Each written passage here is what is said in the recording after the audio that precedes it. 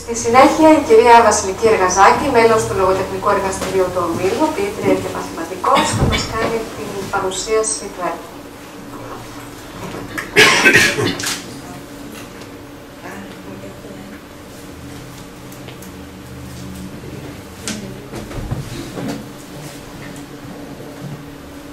Καλησπέρα σας. Η αγάπη κατεβαίνει στα χαρτιά μου και γίνεται ποίημα. Εκείνο πάλι ανεβαίνει ψηλά και γίνεται αγάπη. Απόψε στο λογοτεχνικό μας εργαστήρι έχουμε τη χαρά και την τιμή να φιλοξενούμε την πολυγραφότατη, την πολυβραβευμένη ποιήτρια, πεζογράφο, δοκιμιογράφο, ζωγράφο, κυρία Παναγιώτα Χριστοπούλου Ζαλόνη, εκδότρια και διευθύντριας του λογοτεχνικού περιοδικού Κελενό, ιδρύτρια και πρόεδρο του λογοτεχνικού ομίλου Ξάστερων. Μια αξιόλογη Ελληνίδα που ακατάπαυστα εργάζεται για την ποίηση και τη λογοτεχνία.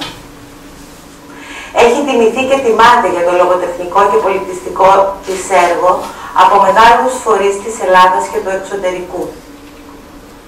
Τον Δεκέμβριο του 2005 ανακηρύχθηκε από το περιοδικό The International Poetry Translation and Research Center ε, η, η καλύτερη διεθνής ποιήτρια του έτους 2005 και το 2007 από τον ίδιο φορέα της απενεμήθηκε το χρηματικό βραβείο Joy Lacing ως καλύτερη διεθνής ποιήτρια. Διοργανώνει συνέδρια ετήσιους διεθνείς διαγωνισμούς στην Ελλάδα και το εξωτερικό. Προσκαλείται και εκπροσωπεί την Ελλάδα σε διεθνείς εκδηλώσεις για την ποίηση.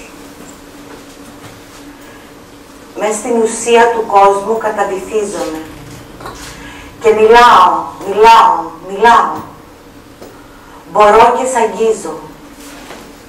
Ύστερα εκτινάσομαι. Και αστέρι γίνομαι και νύζω και τρέχω, τρέχω, τρέχω πάνω στις νόησεις του, τους κύκλους, εν μέσω αγγέλων και ιδεών.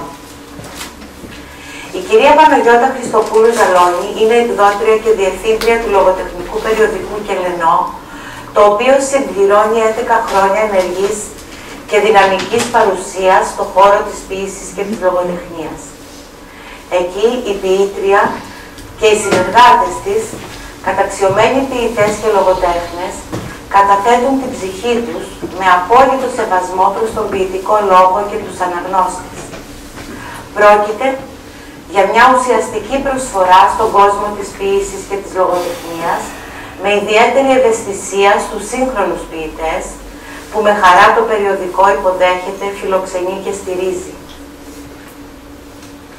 Το κελενό, όπως λέει η ίδια η κυρία Ζαλόνη, είναι ένα αστέρι των πλιάδων, φορτωμένο σε κάθε τεύχος με τα σαλπίσματα, τα απαλά τραγούδια, τους ψιθύρους των πρωτοεμφανιζόμενων ποιητών, τις κραυγές των δορμηρών, των ασυμβίβαστων, τον καημό και τα βάσανα του έρωτα.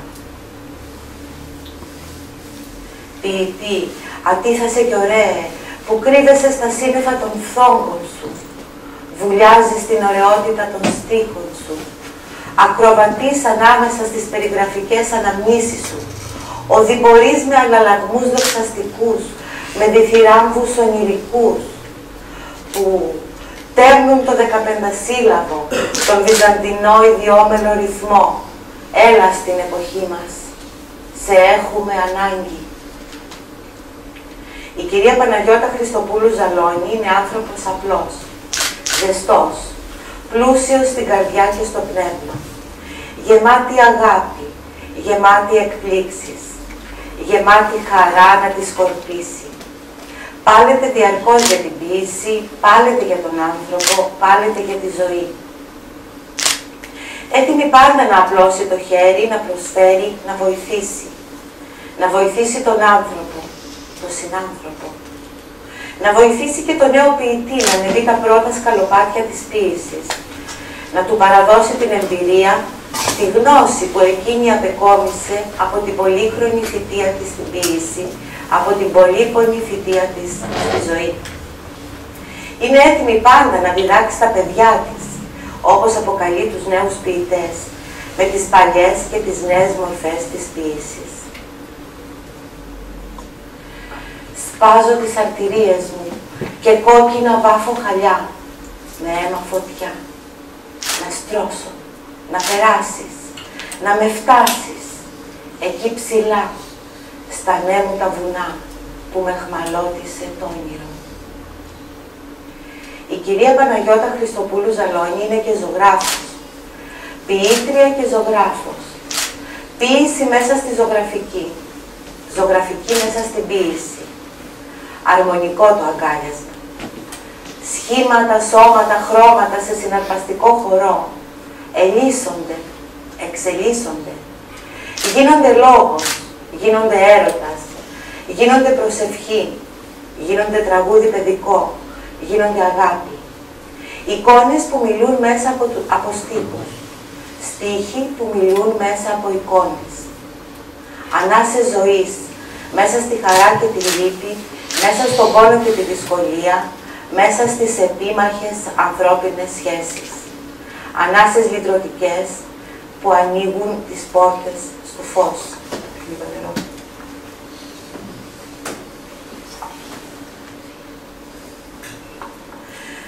Ζωγράφισε μια βρύση στην έρημο της μοναξιάς σου. Κρέμασέ την σε εκείνο το καρφί που στέκει δίχως κάδρο στον τοίχο της απελπισίας σου. Στρίψε την κάνουλα απαλά, να στάζει αγάπης ψαλμουδιές. Ο λόγος της είναι λιτός, μεστός, χυμαρόδης, γεμάτος παλμό και δύναμη, έτσι ακριβώς όπως είναι και η ίδια. Η ποίησή της ελεύθερη, ενίοτε με ρήμα, απελευθερώνει το κάθε συνέστημα με ένα φτερούγισμα λυτρωτικό και απλώνεται τρυφερή σε όλα τα πεδία, καλύπτοντας από το ερωτικό έως το θρησκευτικό, από το φιλοσοφικό έως το παιδικό, από τα μοντέρνα τρίστιχα έως και τον παραδοσιακό δεκαπεντασύλλαβο. Περιεκτικά δοκίμια, διηγήματα, μυθιστορήματα, πρωτότυπες κριτικές και παρουσιάσεις αξιόλογων ποιητών, ποιητικές πρόζες και η πάντα αγαπημένη, φωτεινή και ελενότης, συνθέτουν το στερέωμα της ανεξάρτητης προσφοράς της στην ποίηση και τη λογοτεχνία. Ξοδεύω τον ήλιο που, μαζώ, που μαζόχνω στην πόρτα μου. Ξοδεύω τον άνεμο που ανοιγοκλίνει το παραθύρι μου και φτιάχνω ποίηματα λεπτά και ευαίσθητα. Έτσι.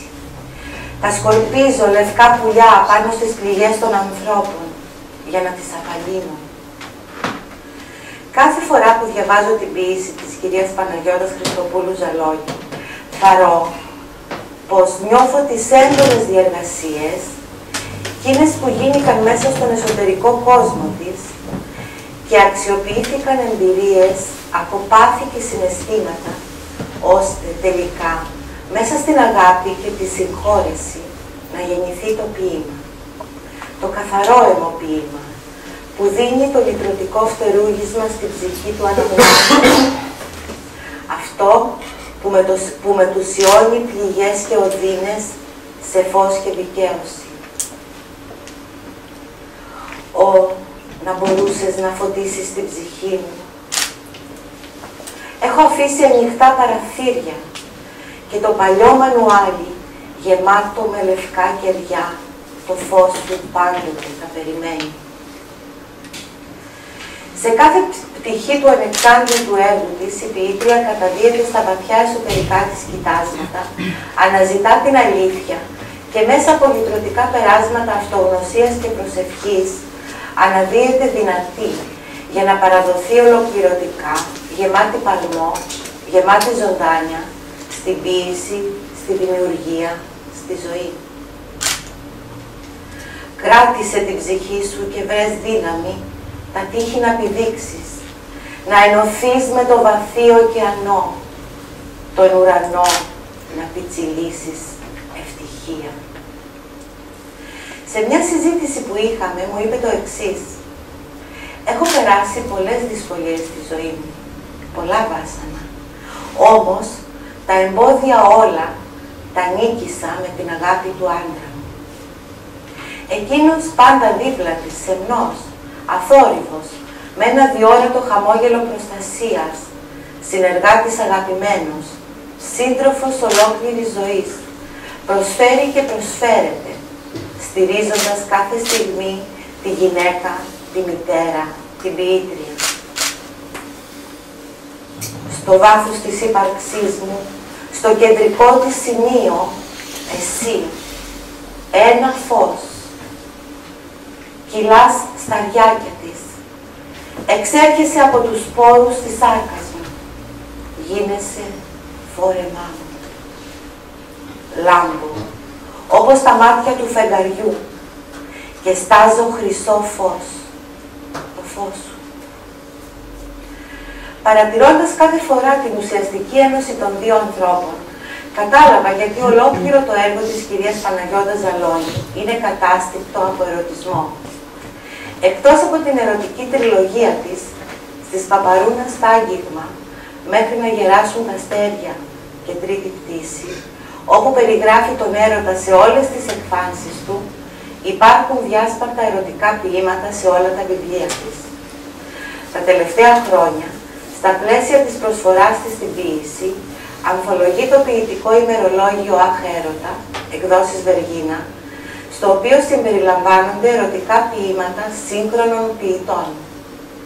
Αξιόλογη είναι και η δουλειά της στην τρίτομη ανθολογία με τη φλόγα της δημιουργίας, όπου ανθολογεί τους ποιητές της εποχής μας, προβάλλοντας το έργο τους. Αυτή η προσπάθειά της συνεχίζεται με νέες ιδέες και οράματα. Μοιραίο. Απελευθέρωσε τον άνεμο και εκείνος φίλησε στα χείλη τη θάλασσα του Αιγαίου. Ύστερα της σφύριξε τραγούδια και εκείνη συνέλαβε κρίνο. Κατά μεσής τώρα του κερμού, στου έρωτα τη μήτρα κυοφορείται ολόλευκος κρίνος. Στην ερωτική της ποίηση, η κυρία Παναγιώτα Χριστοπούλου Ζαλόνη ζωγραφίζει τον έρωτα τολμηρό, δίχως ντροπές και λόγια μασημένα. Για χάρη του στείνει άγαλμα στον κήπο με τις μανόλιες, παρέα με φανερά και αφανέρωτα συναισθήματα, με φανερούς και αφανέρωτους πόθους. Με τα πινέλα της καρδιάς της, τα χρώματα της ψυχής της, αποδίδει με φωτεινότητα τις ρόδινες ουσίες του, πάνω σε μια πελώρια καρδιά, με αφοσίωση γεμάτη. Κι όταν οι κραυγές των λέξεων υφαίνουν τα ξεφτίδια του, τις φρούδες ελπίδες του και τα μάτια στα δάκρυα κολυμπάνε, εκείνη, στην άκρη του ουρανού, με σκέψεις επαναστατικές και παράξενες, παλεύει για τον κατεραδυνασμό των αισθήσεων. Αφήνει πίσω ενός μύθου σημάδια, νύβει τα εντός της και περπατεί σουράνιο τόξο, προσπαθώντας να τυλιχθεί στα χρώματά του. Τα χρώματα που μηνούν το πέρασμα στην αρμονία της αιωνιότητας που μας γέννησε. Προσκαλεσμένη από φορείς του μονάχου, δίδαξε ποιήση στα Ελληνόπουλα των έξι μεγάλων δημοτικών σχολείων και γυμνασίων την εβδομάδα της ελληνικής λογοτεχνίας υπό την αιγίδα του Ελληνικού Υπουργείου Παιδείας. Συχνά την προσκαλούν στα πλαίσια πολιτιστικών προγραμμάτων, σχολεία πρωτοβάθμιας και δευτεροβάθμιας εκπαίδευσης, αλλά και νηπιαγωγία, όπου είναι γνωστή ως φεγγαρογιαγιά, από τον τίτλο του παιδικού της βιβλίου «Τα ποίηματα της φεγγαρογιαγιάς», που έχει μεταφραστεί και εκδοθεί στη Σερβία και Κίνα. Λέξεις. Η μία δίπλα στην άλλη ταιριαστά, που βγαίνουν από τη σκέψη σου και ό,τι αισθάνεσαι βαθιά. Σαν ένα γράμμα στο Θεό, σαν μια εξαίσια ζωγραφιά στον ουρανό. Αυτό είναι ποίημα. Στο βιβλίο της «Ψυχαλίσματα με προορισμό», μια συλλογή από χάικου και τρίστιχα δίνει πυκνά νοήματα και παράλληλα παρουσιάζει την τεχνική που διέπει αυτό το είδος της ποίησης.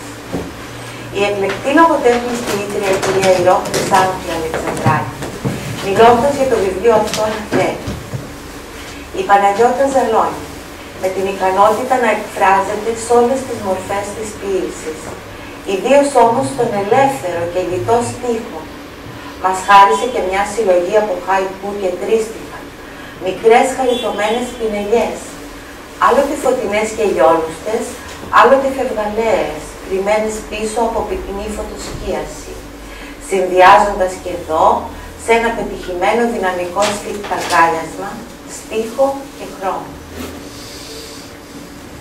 Γλυκιά μου φορά, του, χώρου, του χρόνου μου χάριζα, σ' αποδέχτηκα. Σου έκανα χώρο να περάσεις αγάπη, μέσα στη γραφή Για τα ψυχαλίσματα και ο εκλεκτός μας λογοτέχνης ποιητής κ. Νίκος Μπατσικανής αναφέρει η δημιουργός αποδεικνύεται άριστος τιμονιέρης στον διάπλο που επιχειρεί σε άγνωστα νερά, πάνω στα κύματα μιας ποίησης, μιας τέχνης οικουμενικής, επικίνδυνης και απαιτητικής, σαν την πλανέστρα θάλασσα στους αχανείς ωκεανούς. Η ποιήτρια, ως νέος θαλασσοπόρος, εξερευνά άγνωστα μέρη και μακρινούς ορίζοντες, με οδηγό τους απαρέγκλη τους κανόνες των Χάικου και Τάγκα για να φτάσει στα, ποθητά, στα ποθητά λιμάνια εξωτικών νησιών και μαγικών τόπων. Δονείται η γης με αγάπη σκύλα. Εμψυχώνομαι. Άνθρωπος θρησκευόμενος, σμιλεμένη με τις αξίες της χριστιανικής πίστης, προχωρεί μέσα στις χαρές και στις λύπες της ζωής, αναζητώντας το Θείο σε κάθε της βήμα. Η ποιήτρια προσεύχεται και δοξολογεί το Θεό σε ολόκληρο το βιβλίο της «Η αγωνία της ψυχής μου». Δέξου, Κύριε, τις προσευχές και τις οικεσίες, γεμάτη αγάπη και πόνο, την ψυχή μου προσφέρω θυμία η θρησκευτική ποιήση της κυρίας Παναγιώτας Χριστοπούλου Ζαλόνη έχει κινηθεί δύο φορές από την Ιταλία και το 2008 με το μετάλλιο του Αγίου Βενεδίκτου. Επίσης, τον ίδιο χρόνο, το Καφενείο των Ιδεών της απένει με το χρυσό μετάλλιο της Βεργίνας για την προσφορά της στη λογοτεχνία. Έργα ζωγραφικής της και αλλιογραφίες της κοσμούν εξώφυλλα βιβλίων, βραβεία, προσκλήσεις, περιοδικά και τα ελληνικά της θέματα ανήκουν σε ιδιωτικές συλλογές εξωτερικού. Θεέ μου, νερό για περιστέρια και δάκρυα χαράς, εκλυπαρώσε. Βροχή για τα πηγάδια, δροσιά για τα σπαρτά, σε οικητεύω. Χιόνια για τα ελάτια και πάγο για τον πόνο, Στο μυθιστόρημά της, στη σκιά της ζωής, η κυρία Παναγιώτα Χριστοπούλου Ζαλόνη μας εκπλήσει. Πρικισμένη με τη δύναμη του λόγου, με την πίστη σε αξίες διαχρονικές, όπως η οικογένεια, η παράδοση, η αγάπη, ξετυλίγει μπροστά μας ένα μύθο ζωής, της ελληνικής ζωής, που κυλάει ανάμεσα σε δύο εποχές, μεταφέροντας τις χαρές και τις λύπες της από την επαρχία στην πρωτεύουσα, από τη μία εποχή στην άλλη. Ξετυλίγει τους μύθους των ηρώων της με μαεστρία και ποίηση, που μας κάνει να αναρωτιόμαστε αν τούτοι οι ήρωες είναι πράγματι φανταστικοί ή βρίσκονται εδώ, δίπλα μας, αφού υπάρχουν τόσες ομοιότητες με μας τους ίδιους. Το μυθιστόρημα αυτό δεν είναι μόνο η ιστορία του Κώστα και της Ελένης ή του Λευτέρη και της Ευτυχίας. Είναι η ιστορία μιας ολόκληρης γενιάς Ελλήνων που τα δύσκολα χρόνια φτώχειας και σκληρότητας δυνάμωναν την επιθυμία για μόρφωση, τη λαχτάρα για ένα καλύτερο αύριο. ψήγματα φωτός στο φύλλο που μαραίνονταν. Ο έρος ιερός. Γιορτή στην καμπύλη της έκστασης. Ο μαρασμός παίρνει δρόμο μακρύ. Στην πλατεία μαγεία. Χρησμού οδηγία. Προσκυνήστε το φως. Τούτο το ελάχιστο που με το λυπημένο πράσινο του φίλου έσμιξε. Αξιότιμη κυρία Παναγιώτα.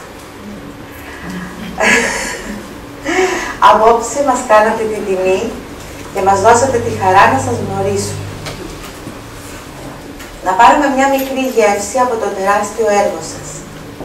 Αυτό που υπάρχει και αυτό που πρόκειται να υπάρξει. Γιατί μια ποιήτρια όπως εσείς, γεμάτη προσφορά και αγάπη, δεν μπορεί, δεν της είναι βολετό να σταματήσει.